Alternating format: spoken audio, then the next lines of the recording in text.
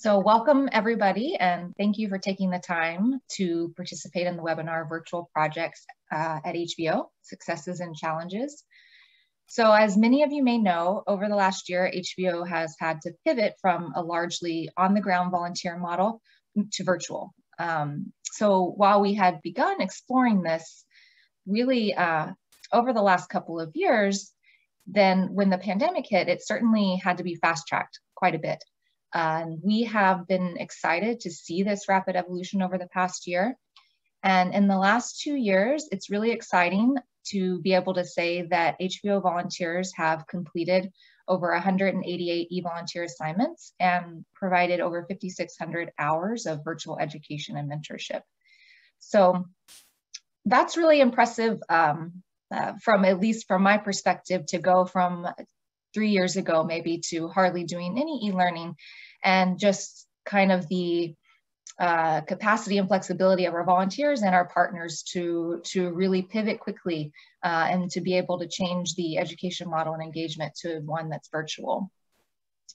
So on our call today, we are delighted to have two HVO volunteers who've been leaders in facilitating remote education and training at HVO sites and to talk about some of the successes and the challenges that they've experienced with implementing virtual learning at HVO sites.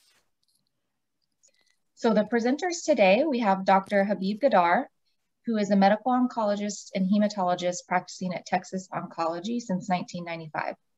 He's board certified in internal medicine, medical oncology, hematology, and hospice and palliative medicine. His devotion to education and interest in global health led him to join HVO. And over the past five years, he's served as an oncology volunteer in Bhutan and Nepal where he's helped train physicians and oncology nurses. And he ser currently serves as co-director for HVO's palliative care program in Bhutan.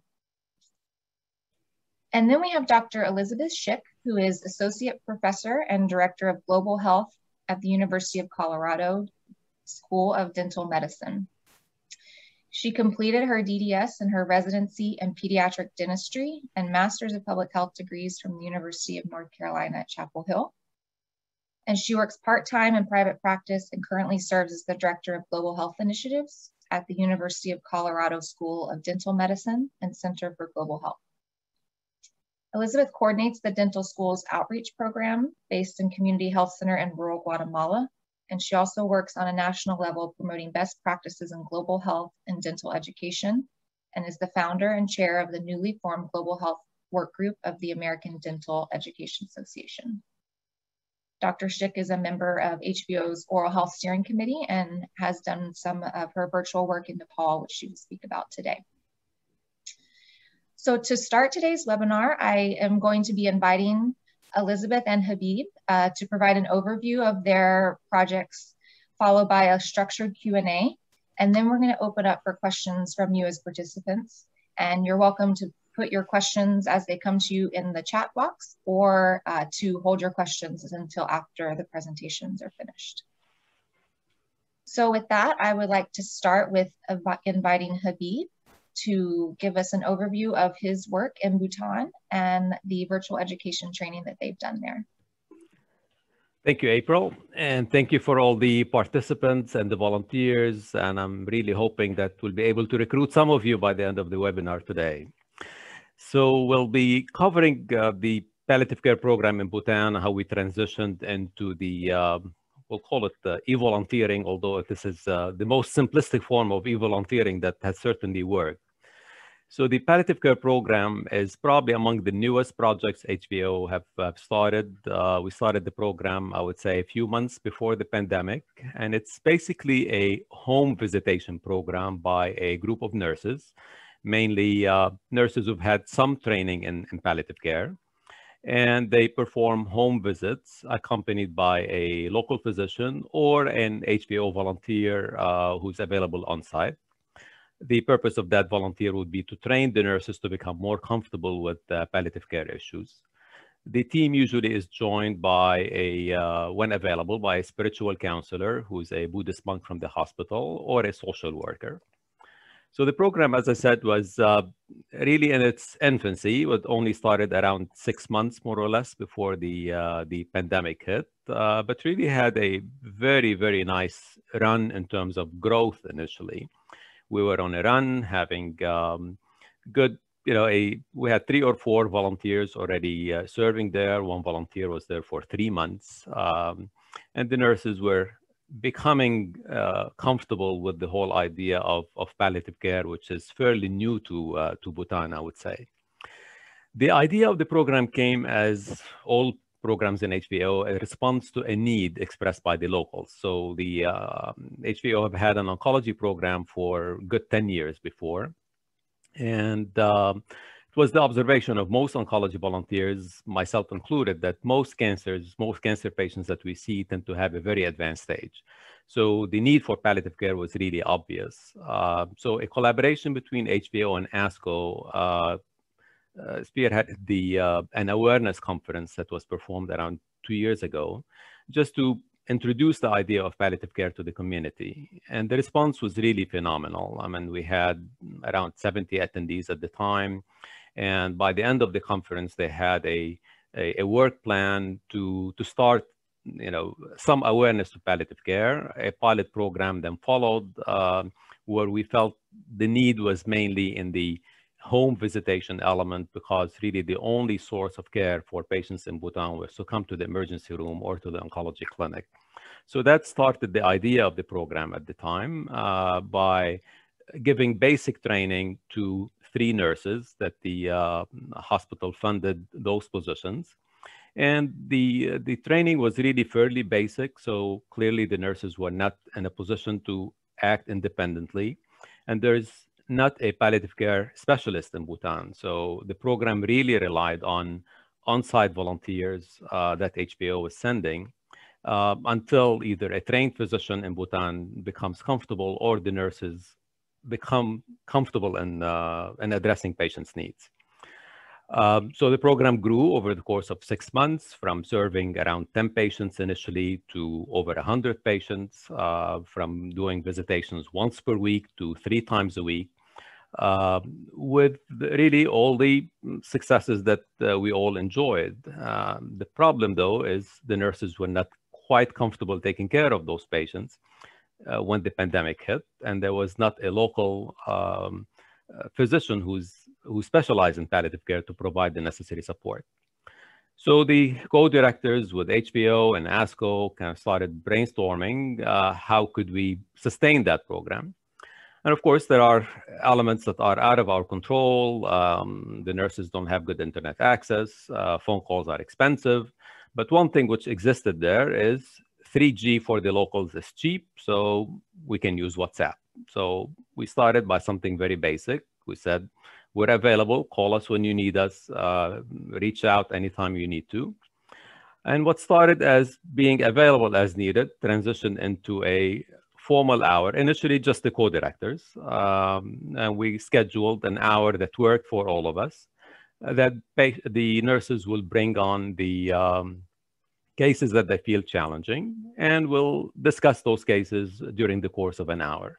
So really it was, if you want to call it the bare bone basics in terms of communication, a WhatsApp phone call, they'll call us and we'll discuss patients and, and we move on. Uh, it really became very obvious that the nurses are becoming dependent on that hour because they really don't have a local resource to tap on. So we called on the all prior volunteers in palliative care and in oncology to assess their uh, interest in, in participating. And, you know, there's, as we all know in HVO, there's no shortage of people with big hearts. So we had an overwhelming response by uh, the prior volunteers, around 15 to 20 of them responded with interest. 10 of them signed on, and uh, now we have a scheduled hour on WhatsApp at this point uh, where we allow up to three volunteers to be to participate in that hour uh, to discuss cases that the patient that the nurses feel challenging. So we moved on to a next step whereby nurses will prepare a summary of those cases. They'll email them to us uh, ahead of time. Uh, we prepare feedback and uh, Annette Galassi, and I have to say, every program needs an Annette in terms of organizational skills. She uh, prepared the Google Drive to whereby we uh, input uh, any educational material. Uh, nurses could upload photos of, let's say, wound or you know something that needs attention. Um, and of course, the uh, that helps the the participants on the call to prepare their feedback of how to address those uh, those cases. So and we really felt with something as basic as a WhatsApp phone call, we're able to enhance the training of those uh, of those nurses, and more importantly, sustain a program that, in my opinion, I think was threatened to collapse because the nurses were definitely in no position to uh, act autonomously. Um, and definitely the lack of a local uh, palliative care specialist would make such a program uh, impossible to, uh, to carry through. So with a very basic technology, we're able to at least uh, maintain uh, patient feedback. The growth of the program has continued. if it didn't enough because it's because of the pandemic, not because of the feedback. Um, and we've moved on to try to expand to other elements within the e-volunteering format. So uh, between HVO and ASCO, we've, um, we were able to fund a, a, laptop that allows us to, to do video conferencing. So the nurses received it last week. The hospital provided uh, an internet access for that laptop with a good bandwidth to allow us to do that and we'll be starting a lecture series now with the uh, with the nurses. Uh, other volunteers have signed on to uh, either be participants in the case conferences, lecture series, or we'll be starting the role play sessions as well. So I really feel, you know, with uh, starting somewhere was uh, was, in my opinion, salvage the program that uh, that was still very very fresh, and uh, the reward that we've, we've, seen from the nurses uh, and the patients, I'm hoping, uh, has been extremely extremely rewarding for us. So I think that that probably will give us an overview of where we're at. Great, thank you, Habib. That that's wonderful. I think your project is a great example of um, one how I think the word e-learning can be intimidating to people, but you guys started at such a basic level with WhatsApp, right? It doesn't have to be a really robust or complicated system or method of engagement. That by starting simple with the technology on the ground with WhatsApp, you were able to meet the needs of your colleagues overseas. And then it's evolved so nicely now, as you're saying, to not just case conferences, but implementing lectures and role playing. And now you're going to be able to do live engagements via video. So I, I think it's a perfect example of just starting small with the resources on the ground. Um, otherwise, it wouldn't have been sustainable, right? So absolutely. Yeah, mm-hmm. I think that that's wonderful. Well, thank you for that and we'll have plenty of follow-up questions for you in just a moment. So now I'd like to invite Elizabeth Shick to uh, give a brief overview of her project uh, in Nepal. Yes, thank you. Uh, thank you for having me. I also want to um, thank you for all the support that you guys gave us while we were doing it, because there's um, a lot of back and forth emails and getting it all organized and coordinated. So that was really helpful. And um, also wanted to point out on this Zoom is David Ciesla. You can see him there. He was also one of my colleagues that participated in this. Uh, so what, what I believe happened was this was also in response to the hosts reaching out to HVO for a request for help. And I think it also was a result of the pandemic with COVID. Um, and what my understanding was, and please correct me or add to this part, I believe that during COVID, they had to rapidly, sort of abruptly shut down the dental school, which happened all over the world, really, um, and making dental education extremely difficult to continue at the time. And the students, of course, are relying on their continuity and program to get through years after years to graduate. So it, it was actually pretty problematic for healthcare education around the world. Uh, and the dental schools suffered um, not only with didactic work that they needed to supply, but also their clinic work was highly impacted. So um, at least half of the dental education is hands-on clinic work. Um, in the, you know, there's still disruptions from this today in the US everywhere.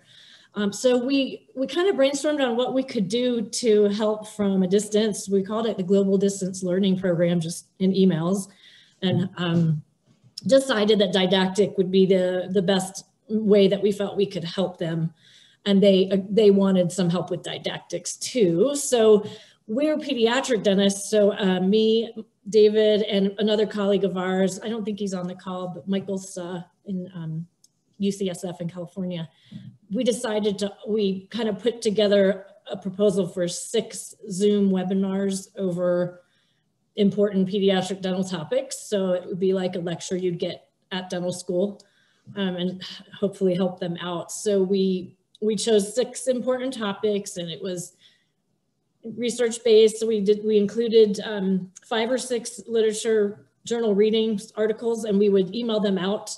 We set up, um, I wanna say six consecutive Wednesdays, I believe is when we did it. And um, it was all by Zoom and they we had anywhere from 50 to 250 attendees. And I believe it was also inclusive of faculty and practicing dentists in Nepal. We actually had a little bit of good variety, I noticed. And so we did six presentations, one hour each, and took questions in the chat box at the end, opened it up to discussion and learning and sharing, which was really nice, having that bi-directional sharing that, you know, is, is really nice in global health. Um, I'm trying to think what else about the program is to mention. Um, I think that's basically the overview of, of what we did. But feel free to add anything, David, as well.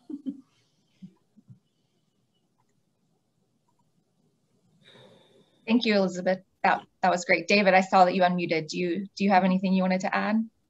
Oh, no, I was just going to say, uh, just impressed with the, uh, the, scope of providers. It wasn't just students, it was uh, professors and outside providers. And I just thought it was very well received and um, it was good. I love the collaborative, you know, they did some things different than we did. It was great to get feedback from them. So it was just a wonderful experience.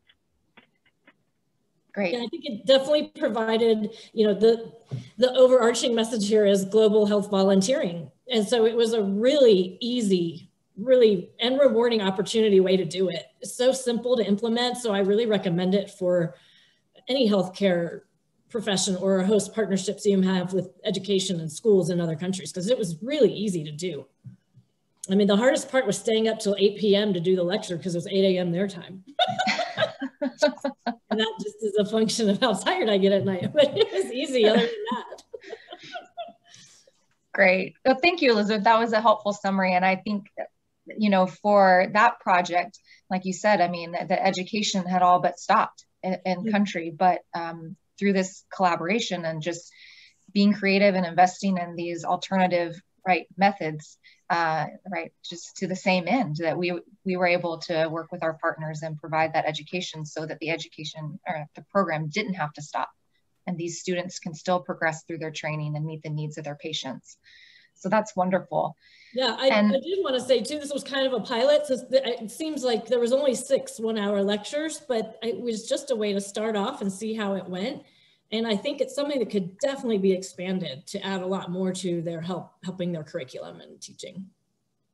Great, great. Yeah, it's a lot of these things once you get started um, and people get comfortable just with the pivot to the online platform and method of learning, it really, you realize how many doors are opened um, and that how much you can utilize online support of our partners uh, when even when we resume volunteers on the ground to continue to reinforce and support that education.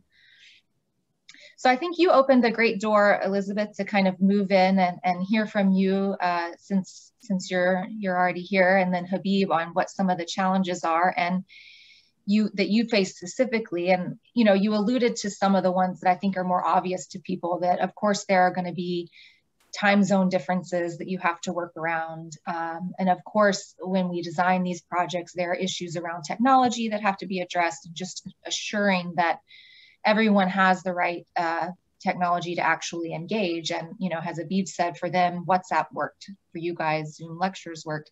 Um, so sorting through some of those more obvious sort of technical um, barriers and logistical barriers, but other than those, I'm curious, uh, what were some of the challenges that you that you faced that might have been foreseen and you tried to prepare for, or things that might have caught you off guard when you were trying to pivot to this online learning? Um, you mean other than the logistics or a little bit of that? Obviously, the Zoom internet connection issue was a challenge for the attendees in Nepal at times. Mm-hmm. And we don't know for sure if everyone who wanted to be there could attend or if they had Zoom access. I think the faculty there um, sort of did a, you know, an overview and said, determined that enough students and faculty could attend. So that's what we did. But I don't really know. I mean, that's definitely a challenge to know if there was another platform that would have worked better. Mm-hmm. Um, and then I guess, you know, with, we developed the program pretty quickly where we just sort of chose what we thought were some important pediatric dental topics. We don't really know it, it, was more of a challenge, I guess, to figure out what do they exactly need. And our, our program was done pretty quickly to help out in a pinch, but I think moving forward, I don't know if I call it a challenge or an opportunity or both, but figuring out more from the host, what, what lectures do they really need that we can provide that will help them? Because we can definitely tailor it more to them. Um, and what we did was kind of started with six basic important topics um, that we felt would be a part of any curriculum anyway, but that that would be somewhat of a challenge opportunity to figure out, you know, a little better if you were going to have more time to develop a program. Mm -hmm. Mm -hmm. Um, other than that, I mean, I we we felt like there was very little in language barriers. I felt like their their English was really quite good. Of course, I don't know what we tried to speak slowly and use very basic language on our slides. So uh, a challenge that I don't really know the full understanding of the students that we're watching. Um, and you know, if we we got what year in school they were and we kind of tailored it to what we thought would be appropriate, but I don't know if their education was the same as ours and a third year student as a third year student. So was the level of our presentations appropriate? I mean, these are some of the things that I think could be figured out in the future a little more. Mm-hmm. Great, thank you. Yeah, I think with enough lead time, right, you could look at um, assessing baseline knowledge prior to developing courses and um, putting some of those tools in place just to help make sure you're teaching to the right level. Right. But that is an important challenge. Mm-hmm. Yeah, and I think the priority in my mind definitely is moving towards um, hosts' needs, you know, so that that's something I don't want to overlook. For sure. Great. Thank you. Mm-hmm. And what about you, Habib? What uh, what challenges were were unique to to your work in Bhutan? Right. Um, so uh, apart from the technical, as you mentioned, and Elizabeth, don't complain about the 8 p.m. Ours was 11 p.m. So that's just for the record here. that's even worse. Um, no, but that's fine. Uh, so really, probably for me, if I were to identify an issue, I would say uh, we're dealing with a, a different nursing culture um, in Bhutan. Uh, and then it's a very unfortunate uh, element. I mean, uh, nurses are used to follow doctors' orders. And it, it's uh, working on autonomously is not part of the uh, of the of the nursing culture, I would say. And HVO, at least during the oncology program, have done a phenomenal job addressing that element, uh, making sure we always pair a physician and a, and a nurse at the same time, try to model what a relationship a doctor-nurse uh, leadership team should have. So, but for us, we were dealing with a relatively new program. These were three nurses who had basic training in palliative care and were asked to be available autonomously uh, on site to, to take care of patients without a physician. So the whole idea of asking to attend to patients without a doctor telling, asking or telling them what to do was, uh, I mean, they, feel, they really felt crippled. And, and the main element of how do you instill that confidence in, uh, in those nurses through that mm, long distance forum so uh, the and of course it was a, a, collective brainstorming session among those who have been there or have uh, done some work with the with the culture in Bhutan. And we basically decided that we're going to limit the first few uh, WhatsApp calls uh, to those who have spent some time with those specific nurses meaning the three volunteers who have been to Bhutan have dealt with those nurses. It's a very, I don't know if the word reserved is correct, but a, very timid, reserved culture for the nurses. And for them to even speak up and ask questions was, take, takes time for them to develop that comfort level.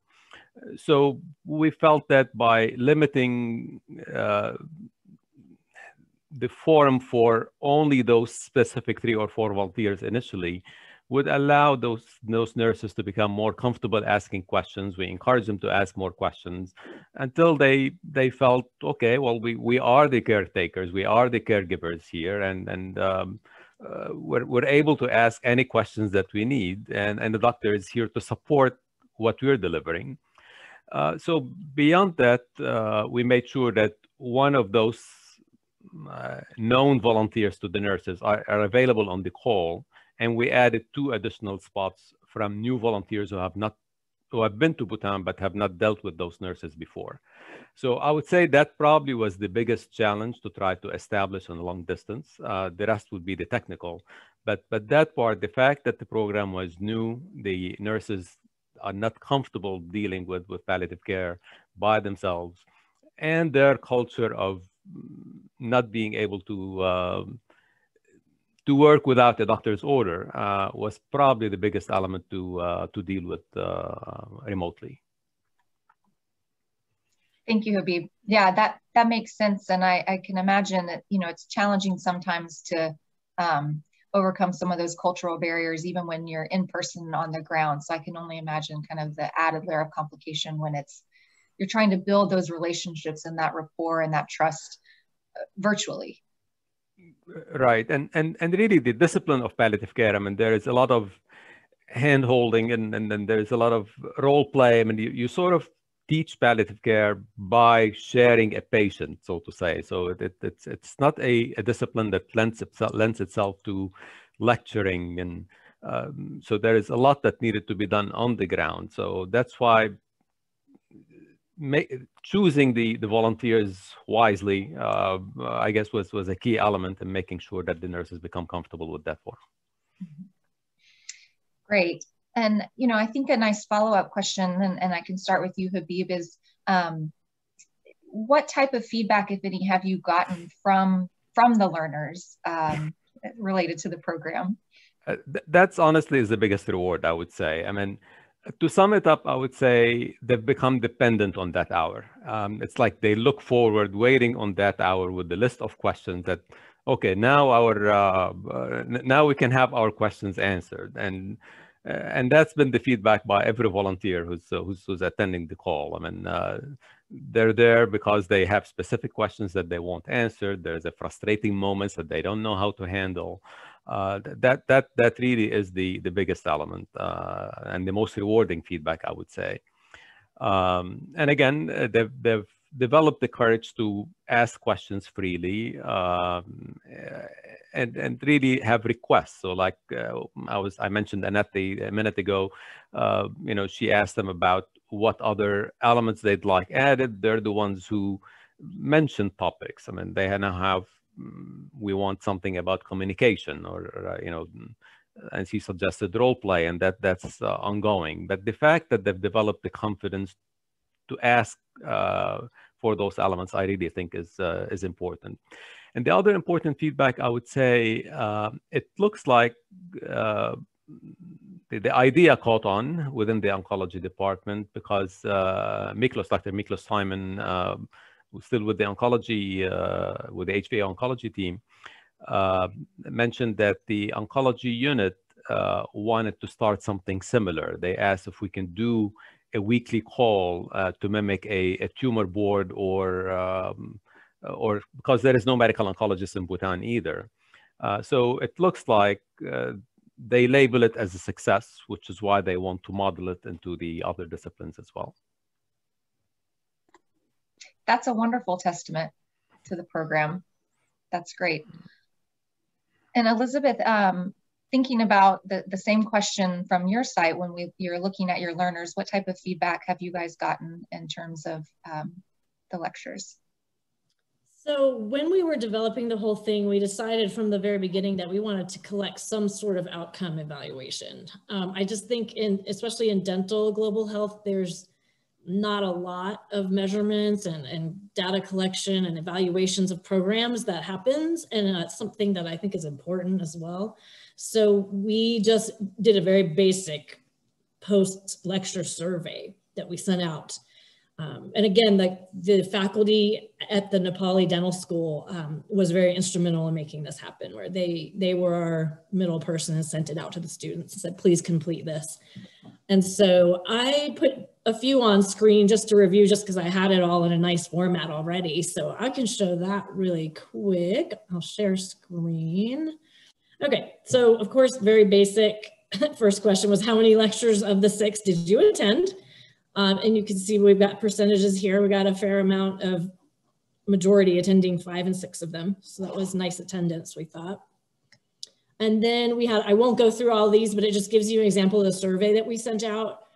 Um, how was it presented in organized format? Did we use clear, easy to understand language? We did want to kind of see if we could assess the English and the understanding on the other end. And could they hear clearly? Was the information new? Was it useful? Do you actually treat children in your practice? So we sent these out because we thought it would be valuable, this set of questions. And then we did ask them to make comments. And so these were really fun to read through. We got a lot of comments, which I was happy about. I just put a few up here that, um, you know, the first I thought this was funny. Yes, thank God for English.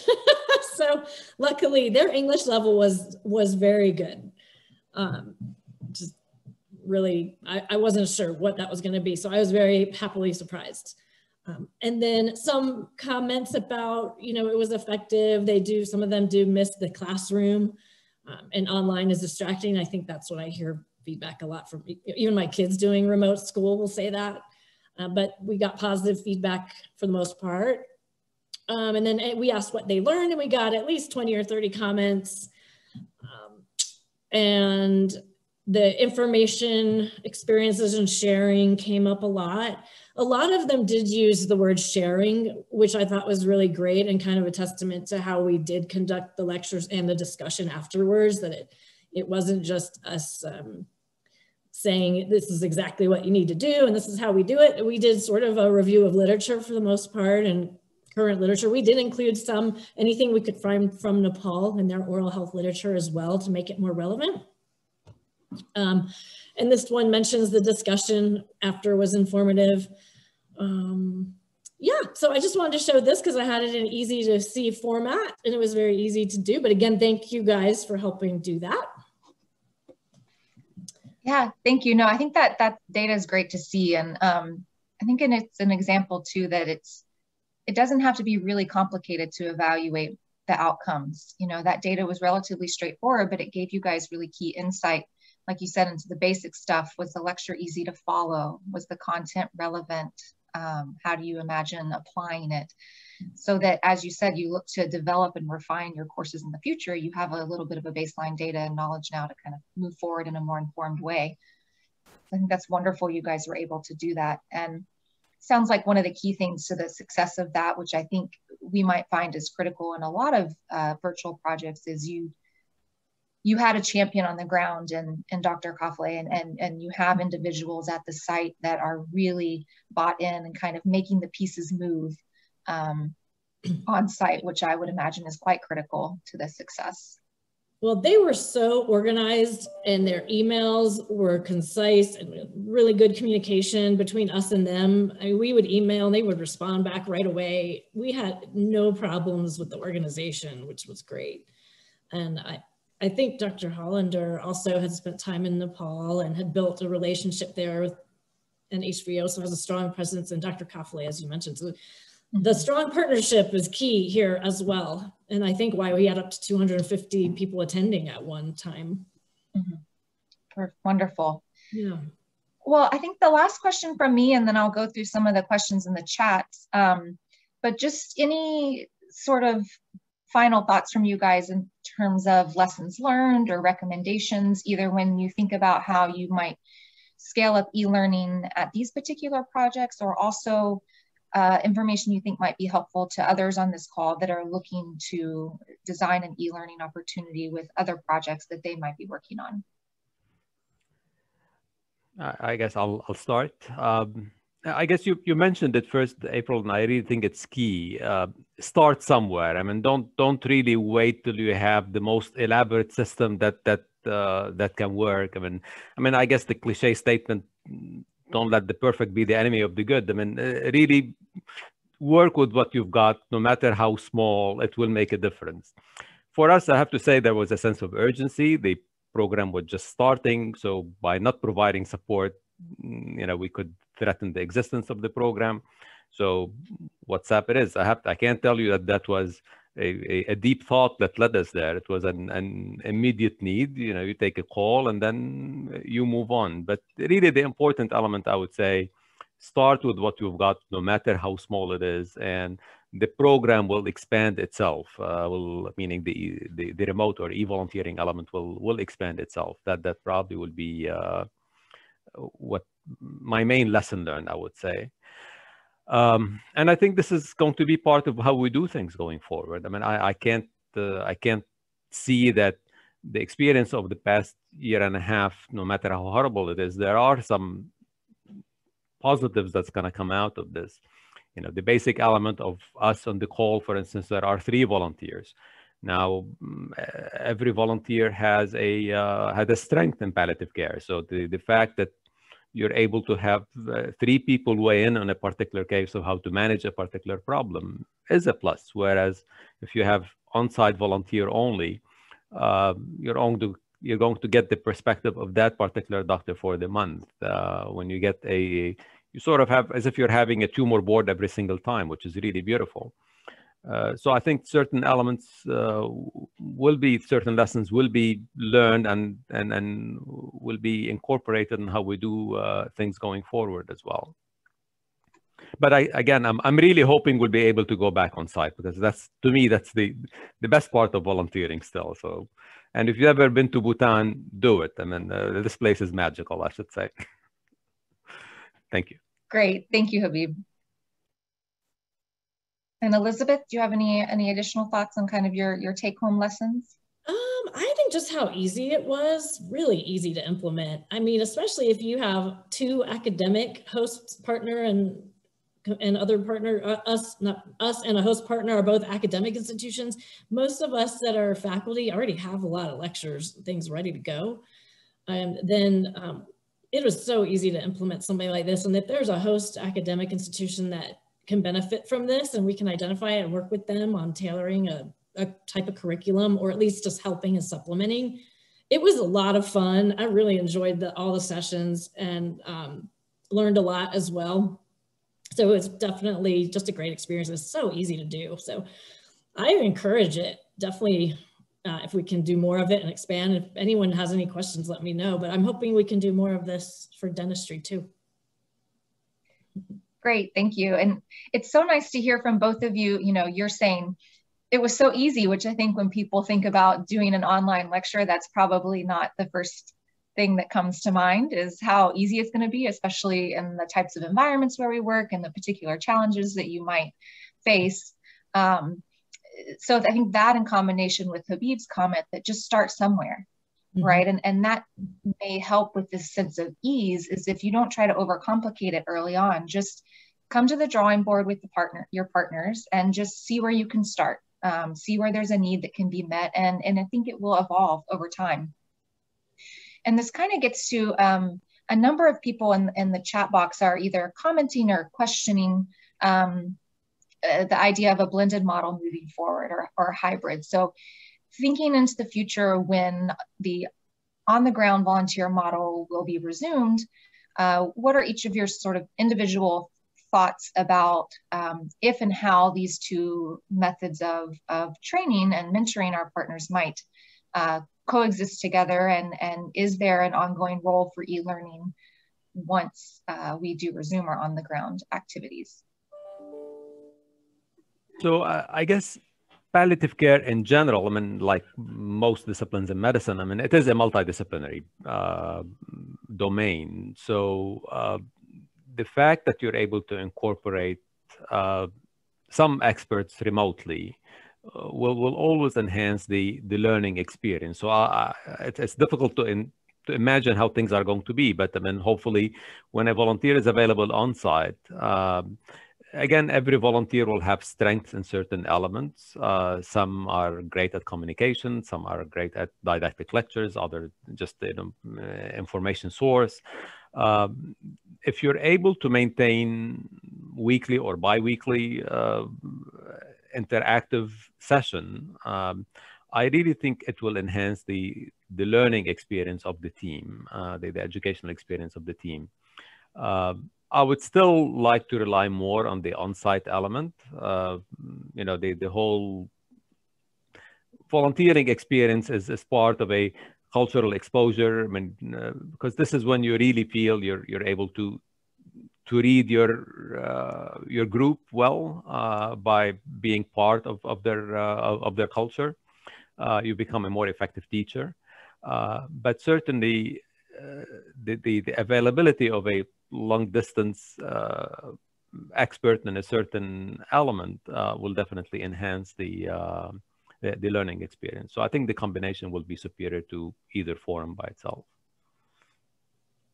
Wonderful, thank you.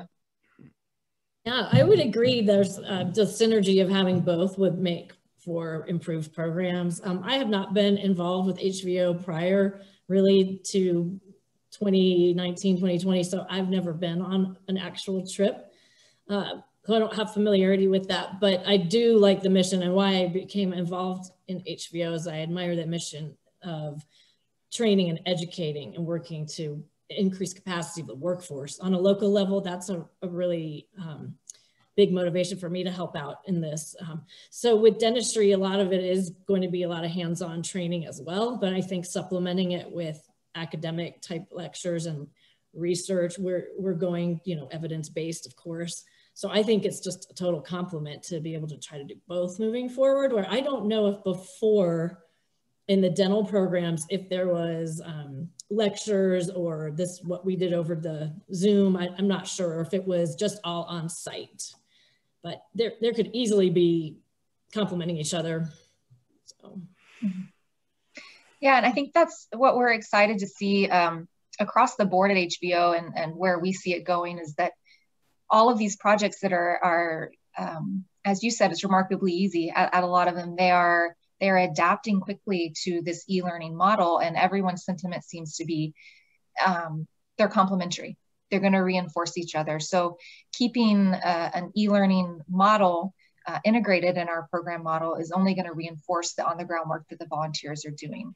Um, and as Habib said, I mean, being on the ground does really help uh, expose volunteers and expand their knowledge and their cultural understanding and those nuances that may influence and be critical to patient care in that environment or education. Um, and then those volunteers, I think, are even stronger as e-volunteers. They return home and they they have that rapport, they have those relationships, and then they can just continue to develop that over time so I think I thank you both so much. That was that was wonderful. And I, I have a few questions that I'm going to try to work through in the chat box. And then as well, if there are people that that want to ask questions, I encourage you to just keep popping them in there. But we had one that just uh, was asking, can you comment on how you performed a needs assessment before and after the experience? So did you guys do formal needs assessment or was it just based on um, the prior needs assessment that HVO had already done uh, since these were existing projects and existing partnerships that we had? Um, I am not sure what the existing, pre-existing needs assessment may have been for this site in Nepal, um, but I know that, for, well, and you may be able to help clear this up too. My understanding was that they requested um, didactic lecture help and they had given like five or six topic areas that they needed. And pediatric dentistry was on there. And as I'm on the global health steering committee, I mean, oral health steering committee, I picked up on that one and said, oh, we can put a team together for these lectures for pediatric dentistry. And then we emailed back and forth, would this be helpful? Yes or no? And I, we sent them our topics ahead of time. Would these topics be good? Yes or no? Would you like articles? Would you like to send us to send them? Will your students read the articles? We got a lot of feedback just from emailing before we did it, which was, and then it was, they were always like, yes, that sounds great. So we did that. And then I showed you, we had a survey to do our posts follow up. Great. I, I, I, guess for us, it was mainly a, we're still in a survival mode. Um, so uh, the needs assessment was fairly obvious. Um, so as you know, with HVO, normally we go through annual review and um, uh, how we Im improve things based on the experience of the prior year, but that was the first year for the program. So it, it was more of a, a, survival mode type of need. Uh, what do we need? What do we do to sustain the program? Uh, and, and that was basically what, uh, what, what drove uh, what, what actually happened. Thank you, Habib. Um, yeah, and I have I see here that Dr. Hollander, um, you're welcome to unmute if you you have a comment you'd like to make. Uh, yes, I'm Brian Hollander. I'm the project director for Nepal. And first of all, I want to thank Habib and Elizabeth. It was really exciting to hear about your projects. And uh, as far as the last comment about the needs and putting it in, I think Dr. Kafle has been excellent at letting us know what he needs. I think the next step is to figure out exactly in their curriculum what they need to fit the lectures into their curriculum and especially with this new HVO Zoom site that you've developed, which I think is going to be excellent. Those recorded lectures, they could have they could have uh, a library of lectures that they could insert into their curriculum. Just be a little more focused on, on what exactly works.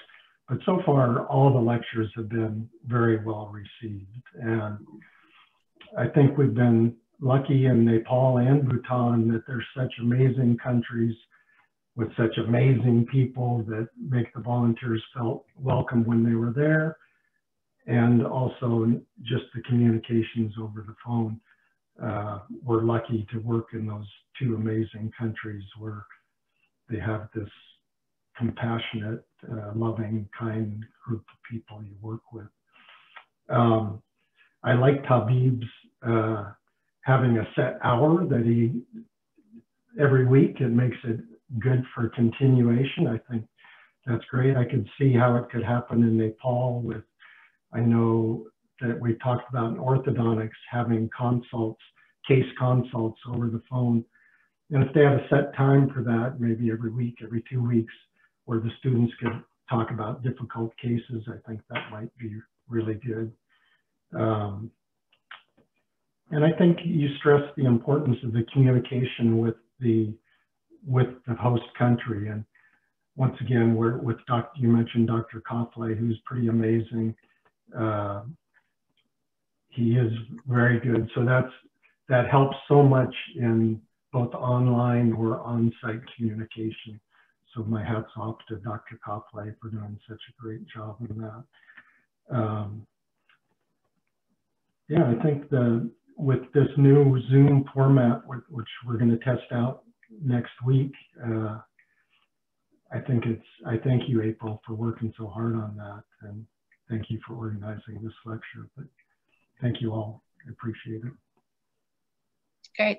Thank you, Brian. Yeah, it's great to hear from you. And, you know, the project has definitely been um, successful in large part to, to your leadership um, and to your relationship, as you've alluded to, and, and the leadership of Dr. Kafle at the site. So it's truly a, you know, a testament to how um, you know, our projects are only uh, as successful as our, our volunteers and our, our partners overseas. So I think, I, you know, just thank you for all the work that you've done on the Nepal project and your leadership. It's been wonderful.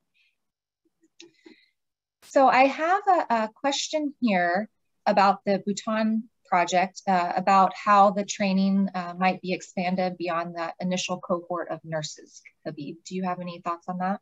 Um, so the the original plan, which we're hoping we'll be able to uh, to continue on with, is that they started with the first core group of nurses, and the idea was uh, those become nursing educators. So, as nursing educate as nurse educators, uh, they were preparing a course to be incorporated in the nursing school next door to the hospital. Uh, to have a palliative care, palliative, palliative care nursing course. Uh, so this way, those nurses become the, the educators for future nurses. And the nursing students uh, would rotate with the oncology nurses as well during their home visits. So that was one element of exposure with the idea of, well, as the program expands, there will be more training happening. Um, as far as investing in the uh, the education of, of existing nurses, uh, so uh, Annette was working with ASCO on trying to get funding for uh, the existing nurses or whoever is interested to attend nursing leadership uh, palliative care courses. There are few uh, worldwide which currently are available uh, remotely as well. The time difference is a little bit of an issue for Bhutan, but uh, we're working on that element.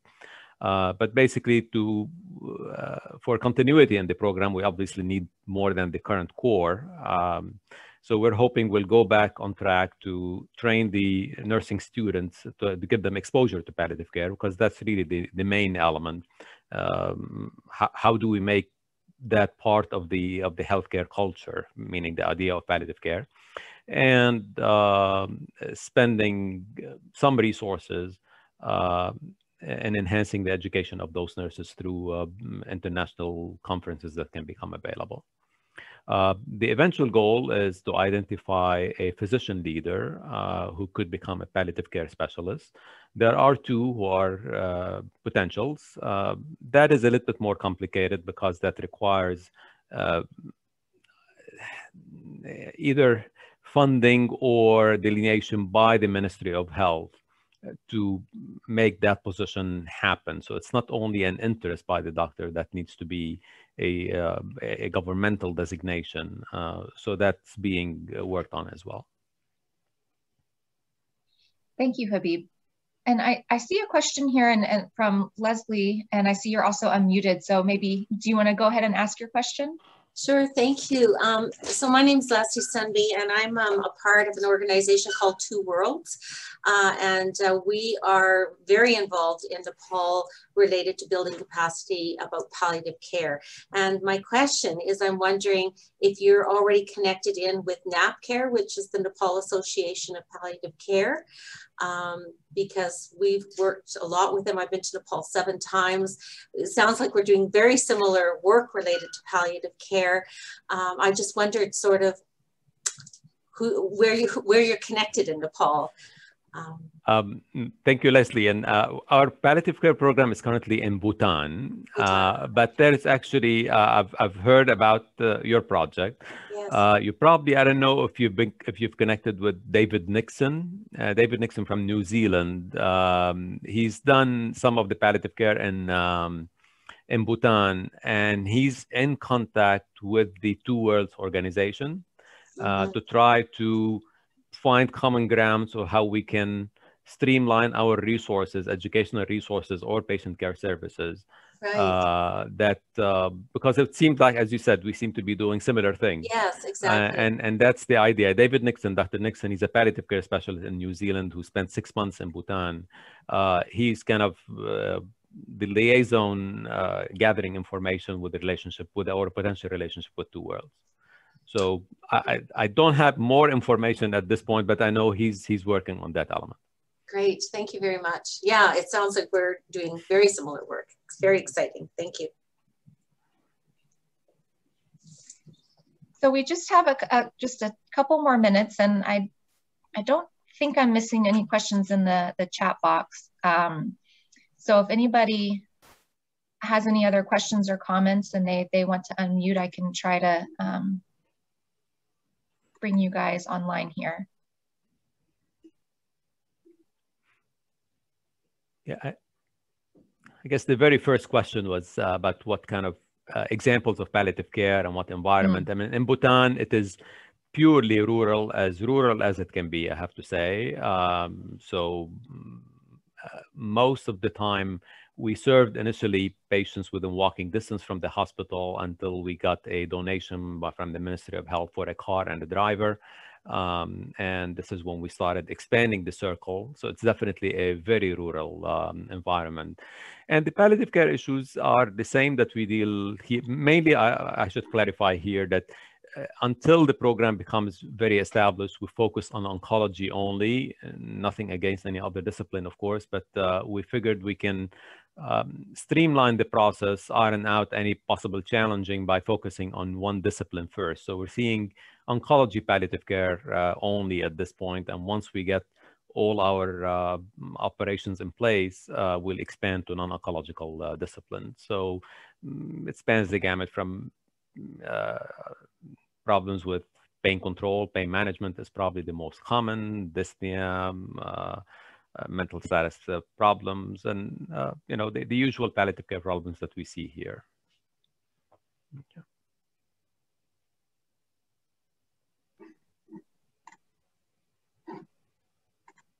Well, thank you, Elizabeth and Habib. This is this was wonderful. I think um, it's nice because you guys had projects that looked quite different, uh, used different technologies. You know, Elizabeth's was part of a, a, degree program with students that are, you know, enrolled in formal training, where Habib's is more of an informal uh, mentorship and support. And so I think you know, your, your presentations and your work complemented each other well, just to provide a really nice um, example of just the types of e-learning engagement um, that HVO volunteers can be involved in. And it really is diverse and it really is about identifying the needs of the partner institutions, uh, working with existing technologies, uh, and just starting starting small and see where it goes from there. So I, I applaud and thank you both for all of your work um, in getting these projects off the ground. And I'm, I'm really excited to see where these projects go, but also just in general uh, where HVO's e-learning goes in the coming years. So thank you both so much and thank you everybody for attending. And